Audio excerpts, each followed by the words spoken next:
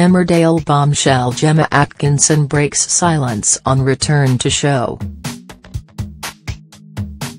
The Strictly Come Dancing finalist played Carly Hope in the Emmerdale cast until June last year. She was in a relationship with Unlucky in Love Marlon Dingle, Mark Charnock, but left the Dales with her ex when he turned up. With Carly still being alive, the door is wide open for her to return one day, especially seeing as her dad Bob, Tony Audenshaw, is still there. In fact, now would be a great time for Carly to return to support Bob with his marriage issues. But Gemma has revealed that, at the moment, a return to Emmerdale isn't on the cards.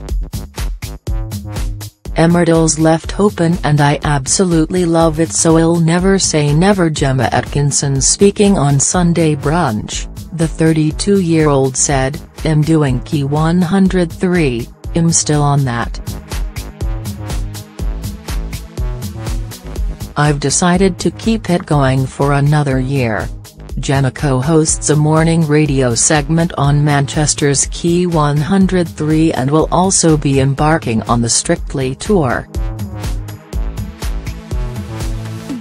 She continued, Emmerdale's left open and I absolutely love it so I'll never say never but at the minute, I can't do both.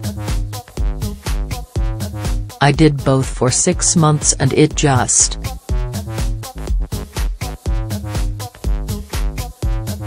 The hours, it killed me.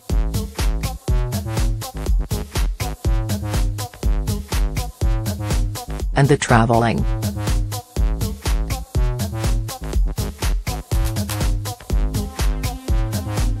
The radio show is broadcast from the Castlefield area of Manchester while Emmerdale is filmed in Leeds. Gemma continued her radio show throughout her time on Strictly last year too, often being photographed arriving at the studios with her dance partner Aljaž Škorjanec. In the final week, Gemma lost out on the Glitterball trophy to former Holby City cast member Joe McFadden. He also beat X Factor champ Alexandra Burke and Paul Daniels' widow Debbie McGee to the title. Gemma's appearance on Sunday Brunch meant a reunion for her and fellow Strictly star Simon Rimmer. Simon made it to week 6 before being voted out after his American Smooth to Delilah by Tom Jones.